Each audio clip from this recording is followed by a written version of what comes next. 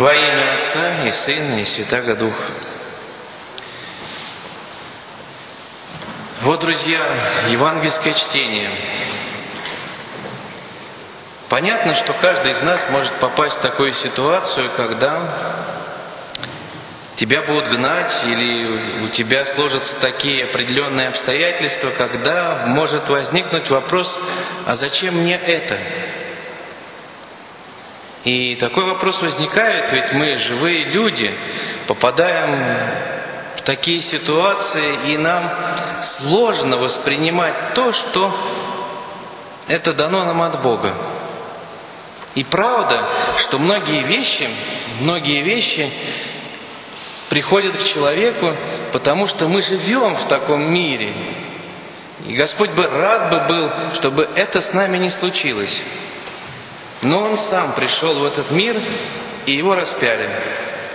Он не сделал никому ничего плохого. И пришел ради того, чтобы люди научились быть счастливыми. Но люди этого не приняли. Каждый, кто был замкнут в себе, этого не принял, потому что это призыв к тому, чтобы меняться, к тому, чтобы посмотреть на себя такой, какой ты есть, а это больно, тяжело и трудно. Но Господь все же всегда остается с нами во всех тех обстоятельствах жизни, которые у нас бывают случаются. Просто часто и я, и все мы не умеем этого видеть. И проходим мимо этого. А как часто было, что Господь мне, скажем, говорил, я здесь, я здесь. И вот если брать конкретно это Евангелие, в моей жизни был случай, когда мне было опасно оставаться в одном городе, и я не знал, как поступить. И вдруг, вдруг, рядом со мной оказался человек, который напомнил мне строчку Евангелия, самую первую – если будут гнать в этом городе, бегите в другой. И так как все мое «я» к тому моменту было разбито, и мне не за что было уцепиться, я уцепился за эту фразу. И я поступил, как сказано в Евангелии. И действительно, я уехал из этого города, потом очень быстро вернулся, но уже вся ситуация, которая была критическая на тот момент, она успокоилась и исчезла. И меня тогда это очень сильно удивило. Стоит только было довериться, поверить и пойти, как сказано здесь в Евангелии. Этого было достаточно, чтобы практически в моей жизни спасти мою душу от тех, кто стремился как раз ее погубить. Или вот другой случай, который также сказал мне о том, что Господь совсем рядом. Сегодня память двух замечательных святых, даже больше, и, и Сергия, и Германа Валаамских, и еще Кира и Иоанна, перенесение мощей этих бессеребренников, мучеников и чудотворцев. Но мы как-то уже привыкли, что наши бессеребренники Косьмы и Дамиан более известные, и часто не обращаем внимания, что кроме этой пары были и еще пара людей, которые были также бессеребренники и не брали за свою работу ничего лишнего. И эта пара такая. Кир, он был как раз врачом, но вот Иоанн был воином и учеником Кира – а потом научился также врачевать и стал помогать своему собрату в этом непростом деле. И они были замучены во время Диоклетиана, императора, где-то на стыке 3-4 веков. И э, в Москве был построен храм в честь их. И в этом храме долгое время служил один из духовных отцов, отца Александра Меня, отец Серафим Батюков или Битюков. По-разному встречается его имя, э, его фамилия. Вот. И э, так получилось, что когда меня рукополагали в священники, меня рукополагали на э, Аланском подворье. Это храм Рождества Пресвятой Богородицы, который также находится э, недалеко от нашего храма. Это э, улица Солянка, Моросейка. Вот. И я не задумывался ни о чем, я волновался о том, как меня будут рукополагать. Я действительно очень волновался и очень устал, э, когда проходило таинство. Я вышел из храма и э, такой был уставший, что не знал, как мне дальше поступить. Э, вокруг меня были мои друзья, и один из друзей предложил мне пойти в кафе чтобы меня накормить, вот как-то умилосердился надо мною, э, посмотрев на меня, какой я измотанный. И мы пришли в один кафетерий и стали просто есть еду, и там же познакомились рядом с этим кафе э, с одним из деканов, который служит в храме Рождества Пресвятой Богородицы, и он нам рассказал историю об этом кафе. Но не о самом кафе, а о том месте, на котором это кафе находится.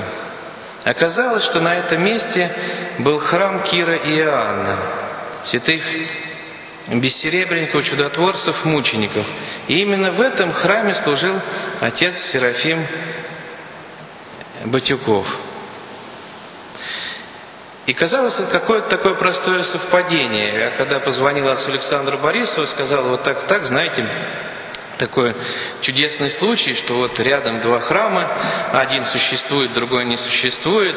И этот храм, в который мы пришли, не зная о том, что здесь э, служил один из друзей отца Александра Меня, когда-то давным-давно. Вот, и для меня это не простое совпадение, а какой-то знак свыше. И э, на что отец Александр сказал, да, удивительно, Господь действует в наших жизнях. А для меня это еще одна такая весточка.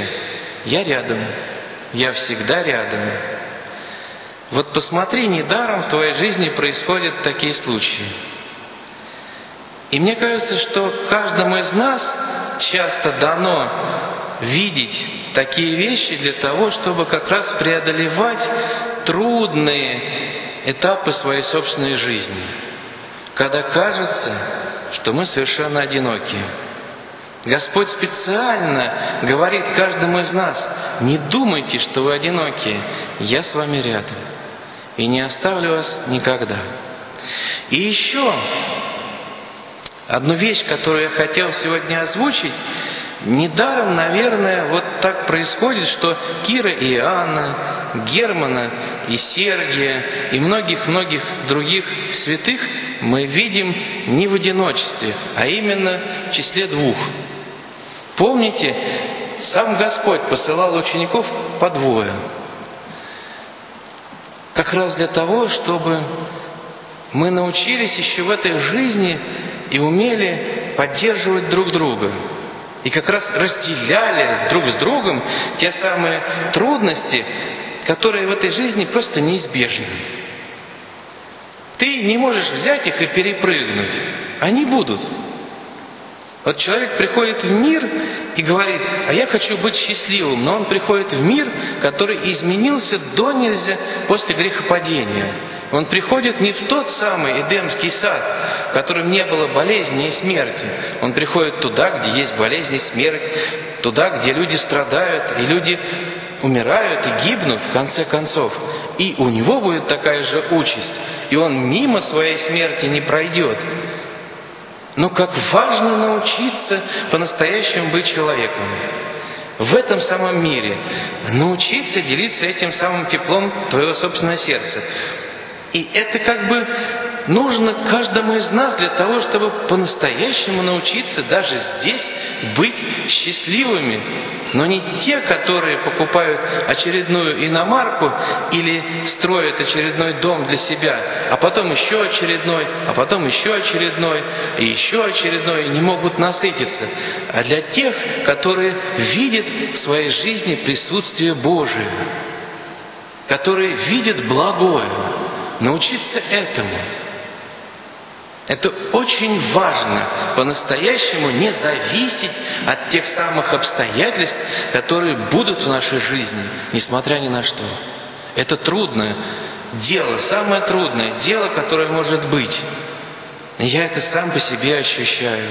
Научиться благодарить за что-то конкретное. Не за просто так, а конкретное сказать. А вот, а сегодня я встречусь с вами, вот с этим человеком, с этим другом. Или у меня будет вот такое дело. Или я совершу совсем маленький шажок навстречу к Тебе, Господи, прочитав вот эту молитву. И за это поблагодарить и сказать спасибо, Господи что Ты у меня есть. Как это бывает сложно. Но это позволяет каждому из нас выбираться из своих собственных недостатков и переживать другие трудности, которые неизбежны, в которых мы можем падать, отчаиваться, забывать о Боге. Но там где-то внутри у нас будет теплиться надежда, что Он как раз нас не оставил. Потому что в обычные дни мы будем практиковать эту надежду – это очень важно. Очень важно помнить о том, что Господь нам дает возможности. Не бремена, а возможности для того, чтобы учиться быть живыми. Вот что главное. Научиться быть живым. И тогда действительно ты можешь видеть какие-то вещи, которые раньше не замечал. Присутствие того, кого раньше не замечал в самых обыкновенных действиях, в самых обыкновенных вещах. Для тебя это будет обыкновенное чудо, волшебство, так скажем. Но ты это будешь видеть и радоваться по-настоящему от всей души, потому что твоя душа будет как душа ребенка, но не инфантильная, а того, кто открыт этому миру и доверяет тому, кто рядом с тобой. Вот этому, мне кажется, стоит поучиться. Сколько бы времени нам в этом мире не осталось. Это не важно. Это задача вечности. Но надо начинать сейчас. Вот эти святые начинали здесь сейчас, не дожидаясь, когда они встретятся там, в том мире со Христом. В этом мире со Христом. Потому что Он рядом с каждым из нас. Просто мы Его не видим. Они говорили, а я сейчас хочу быть по-настоящему живым, не откладывая это на завтра и на послезавтра. Вот, каждый раз Евангелие нам об этом говорит своими строками, говоря о том, что обратите внимание на меня в этом тексте. Сам Господь говорит, послушайте и доверьтесь, идите и увидите, ищите и найдете.